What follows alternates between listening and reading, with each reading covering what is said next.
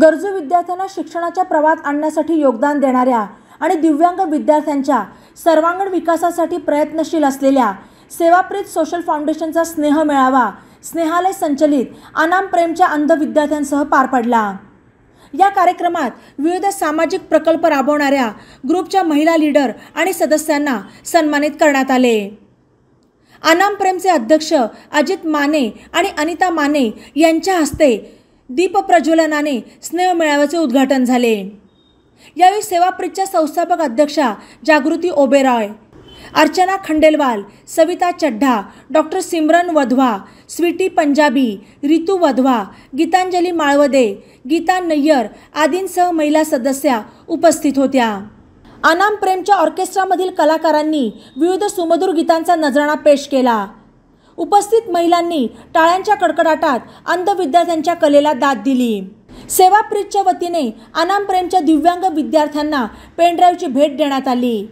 तर अर्चना पुगलिया यांनी अनाम प्रेमसाठी पंचवीस हजार रुपयांचा धनादेश दिला.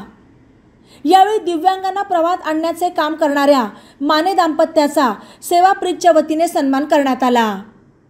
तसेच पर्यावरण संवर्धनाचा संदेश देत महिलांना Rotary e club of empowering यूथच्या वतीने रोपांचे वाटप करण्यात आले सो हमने सोचा है कि हम हर साल करेंगे ताकि हम सब मेंबर्स अंडर वन रूफ मिले so respected our chief guest Mrs and Mr Ajit Mane अनाम trained students, my dear leaders, and my huge dear Sevapreet family. Welcome all, my near and dear ones. I stand before you today with a heart full of gratitude and admiration for the incredible work each one of you have done in service to humanity.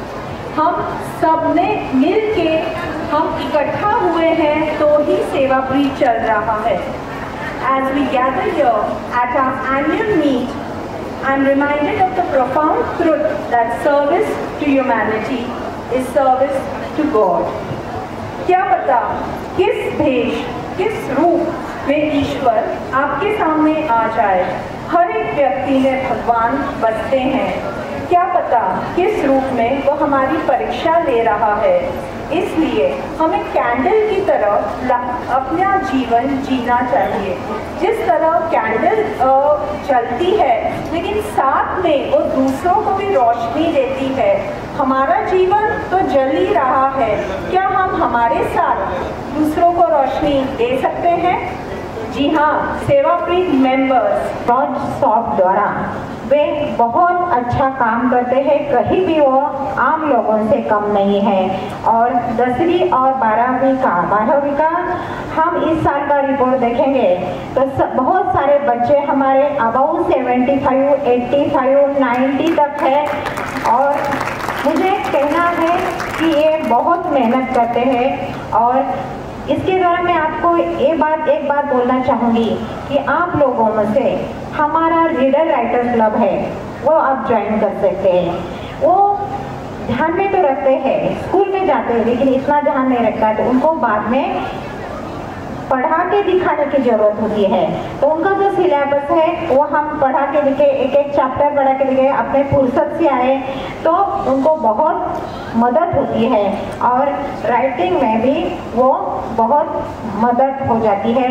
तो ऐसे हमारे अनेक project हैं। आप निमलक में आइए, गांधी मैदान में आइए, हर जगह आके आप हमारे बच्चों को देखिए, हमारा प्रोजेक्ट देखिए। बातम्यांसाठी ई नवा वाडा यूट्यूब चॅनलला सबस्क्राईब करा आणि बेल आयकॉनवर प्रेस करा।